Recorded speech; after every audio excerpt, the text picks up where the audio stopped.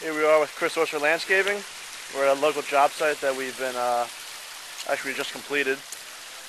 As you can see, it's a big, uh, we installed a big waterfall with all these boulders. Goes down there. And I planted all the trees around. Looks great.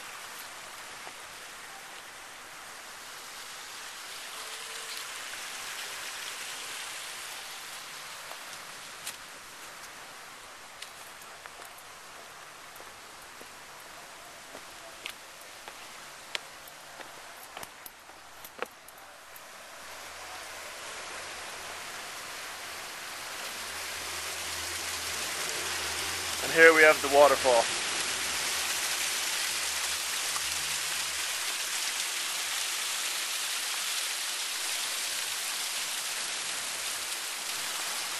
And up top of the, some of the uh, plants and trees that we uh, installed.